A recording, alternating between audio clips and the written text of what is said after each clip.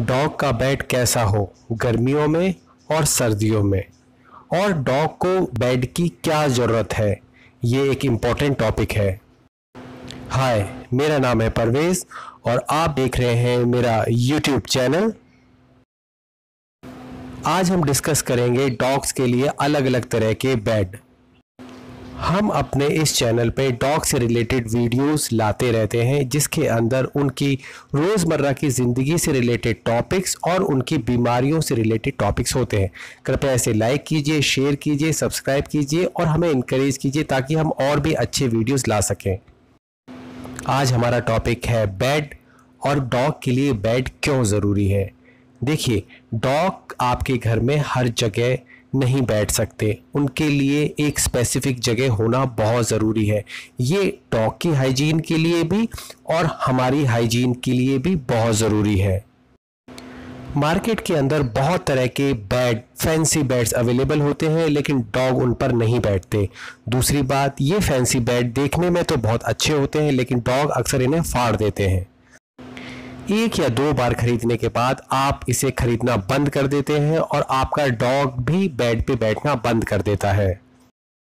क्योंकि मैं बड़ी ब्रीड रखता हूँ और मुझे पता है कि डॉग्स को बेड की आदत डालना क्यों ज़रूरी है और किस तरह के बेड डॉग्स के लिए सबसे अच्छे होते हैं, लॉन्ग टर्म होते हैं और आप उनको आसानी से यूज़ कर सकते हैं।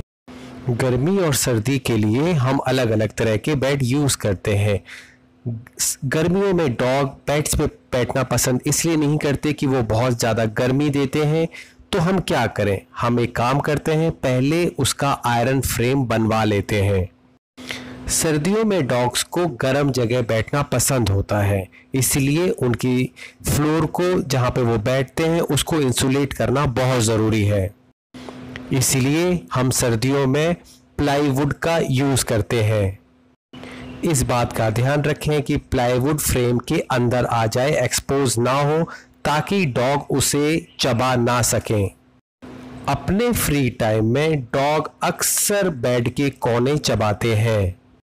इसीलिए जब भी मैं कोई बेड बनवाता हूँ, डिज़ाइन करवाता हूँ, मैं ये कोशिश करता हूँ कि उसका फ्रेम मेटल का हो और कोई भी वुडन पार्ट एक्सपोज ना हो। बेड ज़मीन से दो तीन इंच से ऊपर ना हो, उसके नीचे सफ़ाई करने की गुंजाइश हो और सर्दियों में आप उसके ऊपर प्लाईवुड या वुड यूज़ करें। जब हम गर्मियों की बात करते हैं तो डॉग्स बेड पे नहीं बैठते, लेकिन अब यही फ्रेम उनके गर्मियों में भी काम आएगा। देखते हैं कैसे।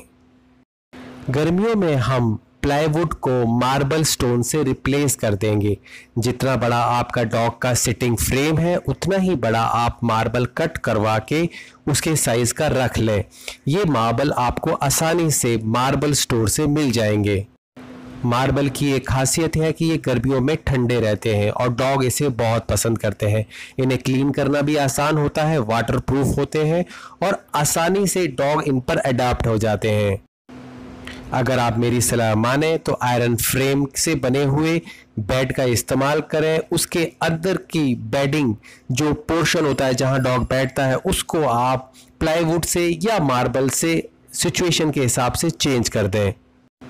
इस वीडियो में मैंने अपना प्रैक्टिकल एक्सपीरियंस शेयर किया है। कैनल के अंदर छोटी छोटी बेसिक इन्फॉर्मेशन कैनल में बहुत यूज़फुल होती है। अगर आपको मेरी कोई राय चाहिए तो आप मेरे नंबर पर मैसेज भी कर सकते हैं। होप ये वीडियो आपको इन्फॉर्मेटिव लगा होगा। अगर पसंद आए तो प्लीज़ इसे लाइक कीजिए शेयर कीजिए सब्सक्राइब कीजिए और कमेंट ज़रूर कीजिए ताकि हम इस चैनल को बेहतर बना सकें। थैंक